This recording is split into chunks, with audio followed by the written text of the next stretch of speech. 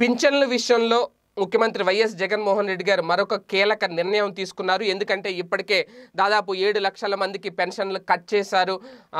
అర్హులైన వారికి అందట్లేదు అనే ఒక ఆరోపణలు వినిపిస్తున్న నేపథ్యంలో ఆయన క్లారిటీ ఇచ్చారు. కట్ చేసిన పెన్షన్ల మా విషయాన్ని పక్కన పెడితే అనర్హులు కట్ చేశారు కాబట్టి అయితే అర్హులైన వాళ్ళకి కొత్త వాళ్ళకి ఆరు లక్షల పదకొండు వేల మందికి ఇప్పుడు కొత్తగా ఆల్రెడీ పింఛన్లు ఇవ్వడం జరుగుతుంది.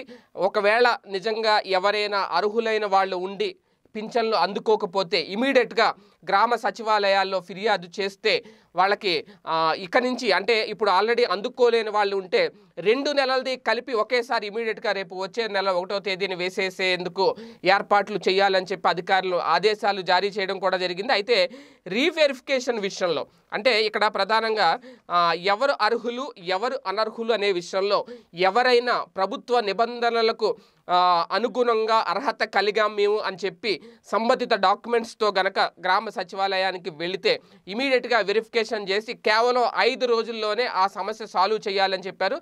ఐదు రోజుల్లో ఆ సమస్య సాల్వ్ చేయాలి. దానికి సంబంధించి డాక్యుమెంటేషన్ కూడా లిఖితపూర్వకంగా ఉంది. అధికారులు గుర్తించాలి ఈ విషయాన్ని అని చెప్పి ఒక ఆ- విషయాన్ని నొక్కి ఒక్కారించడం జరిగింది జగన్మోహన్ రెడ్డి గారు. ఎందుకు అంటే చాలామంది గ్రామ స్థాయిలో పది రోజులు పడుతుంది పదిహేను రోజులు పడుతుంది. ఇప్పుడు అప్పుడే కాదు వచ్చి నెల రండి.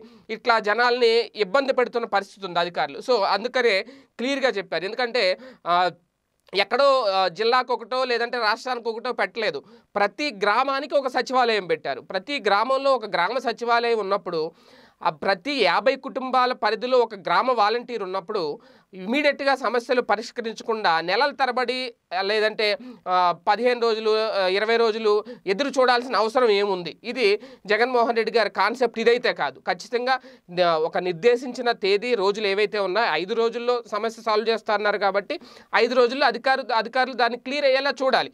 అంతే తప్ప ప్రజలను ప్రజల్ని ఇబ్బంది పెట్టే పని అయితే చేయకూడదు. ఈ నేపథ్యంలోనే జగన్మోహన్ రెడ్డి గారు చాలా క్లియర్గా చెప్పారు. ఎవరికైతే ఒకవేళ పెన్షన్స్ అందలేదు వాళ్ళు మళ్ళీ అప్లై చేసుకుంటే వచ్చే నెలలో రెండు నెలల పెన్షన్ కలిపి ఇచ్చేందుకు ఏర్పాట్లు చేయమన్నారు. అది ఈ నేపథ్యంలోనే కీలక నిర్ణయం తీసుకున్నారు. ఎందుకంటే అర్హుల్లో ఎవరికైనా పెన్షన్ అందుకుంటే ఒకేసారి రెండు నెలల పెన్షన్ అందిస్తామని చెప్పి హామీ ఇవ్వడం ఏ ఒక్క అర్హుడికి కూడా తమ ప్రభుత్వ హయాంలో అన్యాయం జరగకూడదు అని స్పష్టం చేయడం ఈ నేపథ్యంలోని అధికారులకు కూడా ఒక స్పష్టమైన ఆదేశాలు జారీ చేశారు. మొత్తం అందరికీ కూడా అర్హులైన వాళ్ళందరికీ కూడా పెన్షన్లు అందేలా చూడాలి. ఈ విషయంలో మాత్రం వెనక్కి తగ్గేది లేదని సీరియస్గా ఆదేశాలు జారీ చేయడం జరిగింది. మరి చూద్దాం.